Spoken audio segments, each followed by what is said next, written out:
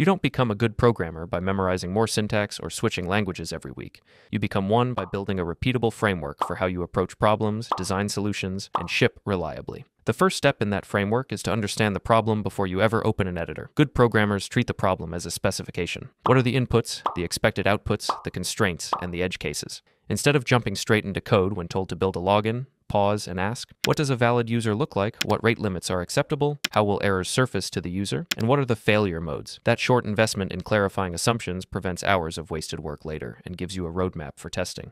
Next, design before coding. Sketch the flow, write a quick rough pseudocode outline, and decompose the system into discrete units.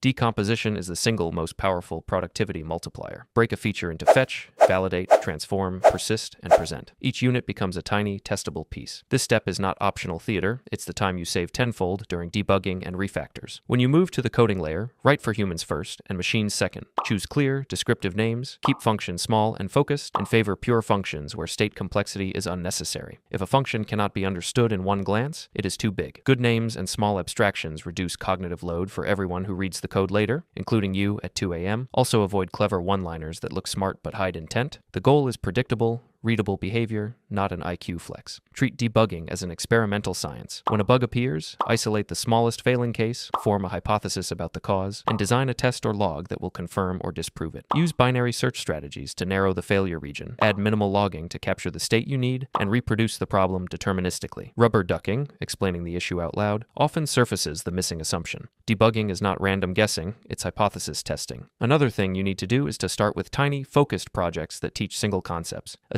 CLI tool that renames files, a small URL shortener, a password generator, then move to integrations that combine components like auth, databases, and background jobs. Only after you've shipped multiple working systems should you attempt a full SaaS app with deployment, monitoring, and CI. Progressive difficulty builds confidence and teaches you how systems behave under real constraints. Use version control like it matters because, believe it or not, it does. Commit messages are documentation for future humans. A message like fix null pointer tells you nothing, whereas handle missing token in auth middleware tells the story. Branching, code reviews, and small frequent commits create a history that proves competence. Hiring managers read Git histories, by the way. Clean, descriptive commits and meaningful PR descriptions separate serious engineers from hobbyists. Seek feedback aggressively and read other people's code constantly. Reading well written production code accelerates pattern recognition in a way tutorials cannot. You are what you eat, after all. You can pick an open source codebase relevant to your interests and read one file a day. Absorb naming conventions, directory layout, and how authors structure tests and error handling.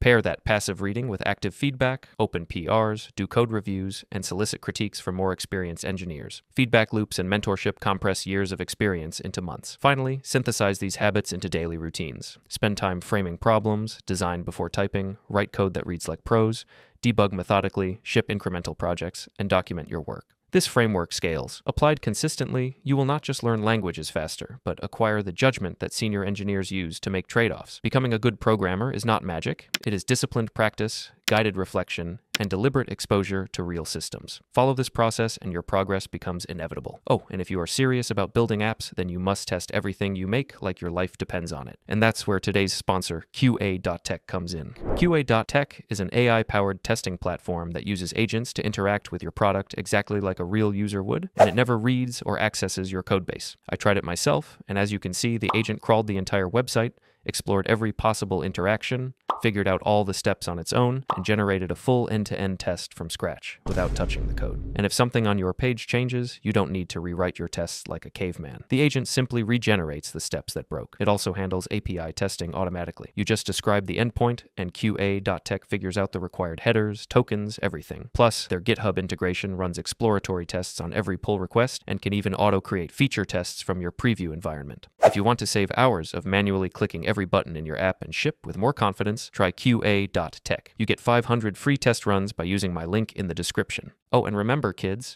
to change the entire universe, you have to be